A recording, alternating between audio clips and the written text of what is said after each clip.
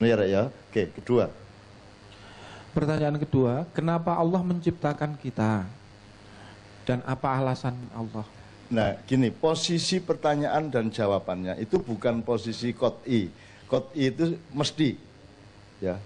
Nek dhoni itu ya iso bener iso salah. Nah, pertanyaanmu itu ya iso bener iso salah, jawabanku iso bener iso salah. Jadi jangan memperlakukan upama aku jawab apa-apa kok anggap iku bener.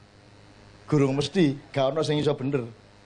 Upama awakmu takon Kanjeng Nabi, ya Nabi jawab iso beda-beda. Gitu loh. Karena Allah ya apa caranya awakmu roh karepe Allah? Lah gak roh. Gitu kan? Jadi satu-satunya jalan menurut saya kalau dalam Islam masih kon gak roh temen karepe Allah, sing penting sangkaanmu itu satu hus, husnun, apa? Husnudon. Kamu bersangka baik pada Allah siji, terus harus menghasilkan perbaikan hidup kita. Awakmu mbuh salah mbuh bener ketika mencari ilmu itu. Sing penting uripmu tambah luwih apik ibadahmu tambah sergap nyambut gawemu tambah tekun ya. Dan sikap sosialmu kepada orang lain menjadi lebih apik. Perkara ya aku bisa macam-macam ono sing ngarani Gusti Allah gawe iku mergo kijenan. Eh lah tak gawe rek timbangane ijen aku engko tak tak tak gudang-gudangan gitu tak eh, ayo menungso kene. Ayo sembahyang ping 5 ngono kan? Terus kok diawasi kabeh. Macam-macam deh di dalam tasawuf dalam khasanat tasawuf buahnya ada yang karena Allah sendirian maka dia ingin bercinta sehingga dia menciptakan pihak yang lain. Ya ya jawaban sing pasti tetap gak ono dek ya jadi ojo adik kono ojo adik nguber-beriku saat kon nguber-uber apa maksudnya Allah tak kayak isyarat sih hitungan rambutmu jumlah piro Nek kon rambut kabeh gak ndukur tok lho ya. Kon nek gak iso jawab kono jadi menerusno pertanyaan sing iku mang mergo gak mungkin kepethuk. Wong sing penting iku kon cinta karo Allah, taat karo Allah. Mek ngono tok kok. Bahwa apa sebab iku Allah ngongkon sembayang ping 5. Kok nek kok takono terus wis gendeng kon. Gusti nyok napa sih karepe niki kula rasa seger. Isuk-isuk kok mek rong rakaat. Engkok nyambut gawe pegel-pegel malah petang rakaat. Ya napa sih sampean niku? Mbok diwalik napa? Ngono.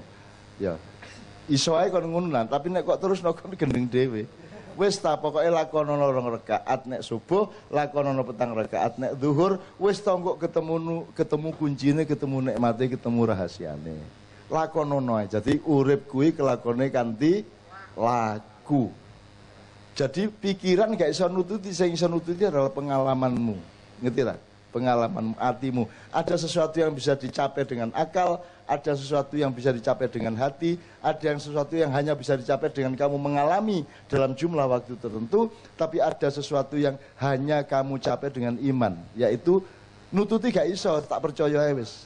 Itu. Mbuh apa karepe Gusti, pokoke mesti apik karepe ngono lho. Gitu ya. Jadi sing ngono-ngono hadapi dengan iman, jangan dihadapi dengan akal.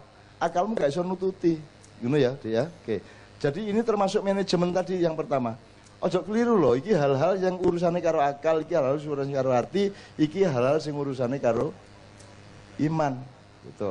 Nah iman itu pokok percaya wes. Nah hati maksudnya penting aku terus karo Gusti Allah.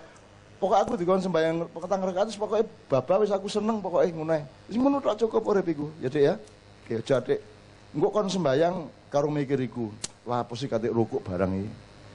Lapor ngowe ini sikilku wis rada sasa murat iki ngono ya. Ya. Aja ngono wis pokoke wis ta nek Gusti Allah ngongkon lakonono wis ngono wis. Enggak usah banyak pertanyaan lakonono wis ngono ae. Ngono lho. Anyane mek ngono iku tok urus. Mulane aja kakean ngomong mengenai iko iki iko iki kon gak iso nglakoni. Sing penting ku lakonono. Gitu ya.